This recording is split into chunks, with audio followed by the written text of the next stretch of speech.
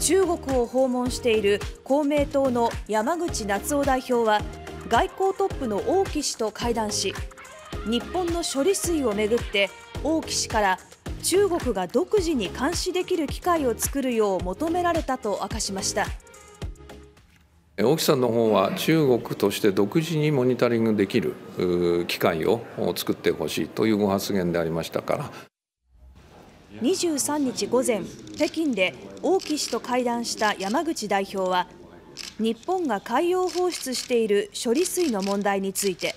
まずは IAEA など国際機関との協力に基づくモニタリングが結果を出すことが重要だと強調しました。その上で山口氏は独自にモニタリングしたいという中国の求めについて加えるかどうかについても合意は可能だという見方を示しました。また水産物などの金融措置の解除に向けてどうしたらいいかを具体的に積み上げていく必要があると述べました。